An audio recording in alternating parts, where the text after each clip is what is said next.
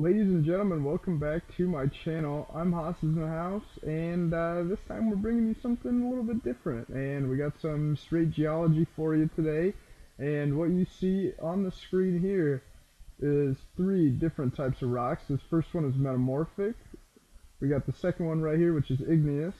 And the third one over here, which is going to be sedimentary. And as you can see, they kind of just look like rocks. But this one has some banding. That's a metamorphic rock, a really characteristic tail of that one there. The middle one here, as you can see, has a lot bigger crystals in it, and they are very well defined, and they look like crystals too. You can see them here, some of the brighter, like shiny ones in there as well. And then over here on this third rock, we've got fossils, which is very characteristic of a sedimentary rock.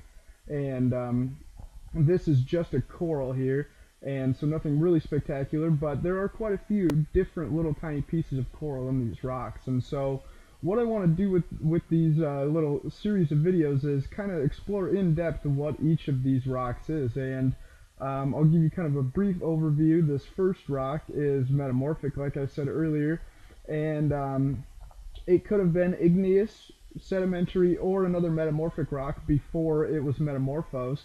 And really what happened to this rock is, as you can see, it just kind of got squeezed together.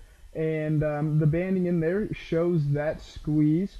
And that's really how they form. High pressure and the rocks just kind of crumple into each other and form bands. Now, this igneous rock has some really big crystals and what happens is that at one time this was a molten rock and what these crystals did is they had enough time to grow and this big one that you can see in the corner is huge so it cooled really slowly and the crystals grew very, very, very large. Now, that is kind of one of the fundamental differences between these rocks, and um, like you can see over here in the sedimentary rock on the far right, they also have some pretty big, uh, I guess you would call them crystals, but that's not what they are. These are actual skeletons of older organisms, and they formed just like that. They were like that in the rock when that rock was solidified.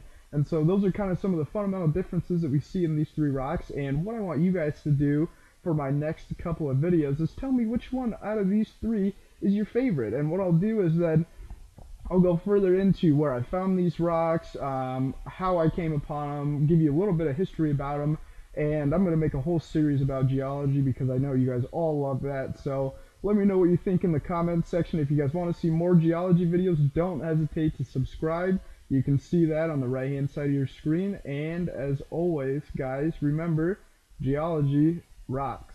Thanks, guys. Have a good one. We'll see you later.